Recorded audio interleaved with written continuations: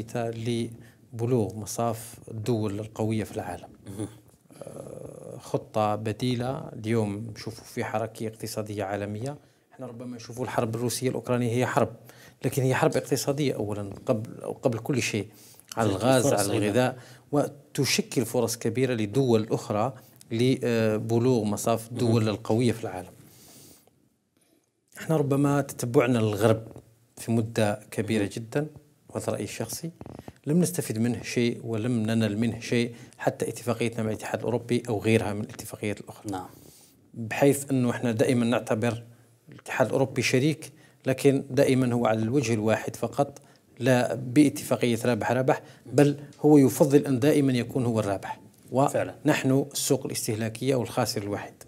لكن دخولنا إلى آه، تكتلات قوية يجعلك آه، تعيد التفكير ويعيد حتى شركائك اللي كانوا معك في الماضي يعيدون التفكير عليك. لماذا؟ لأنه الآن منطقة البريكس مش هي الدول التي آه، ربما الدول السريعة في النمو أو التي تملك نمو, نمو متسارع. هي دول تملك اختلافات كبيرة جدا. لو تشوف بين الهند والصين مثلا آه، يعني تنافسية كبيرة داخل إفريقيا تنافسية كبيرة في الصناعة تنافسية كبيرة في كل الصناعات الصناعة السلاحية الصناعة الطاقوية الصناعة يعني على كل أشكالها يعني فيه تنافس كبير.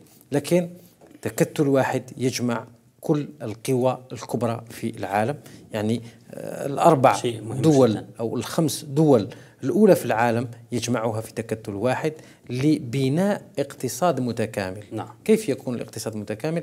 أنه البرازيل تكمل اقتصاد جنوب إفريقيا وجنوب إفريقيا تكمل اقتصاد الهند وغيرها روسيا وهم كلهم يتوزعون على الخمس قارات وهذا شيء مهم جدا م. لماذا؟ لأنه أرادوا أن تكون لهم بسط للتكتل داخل القارة أو داخل القارات الخمس أو داخل الكرة الأرضية كامل يكون عندهم بسط للقوة تاعهم.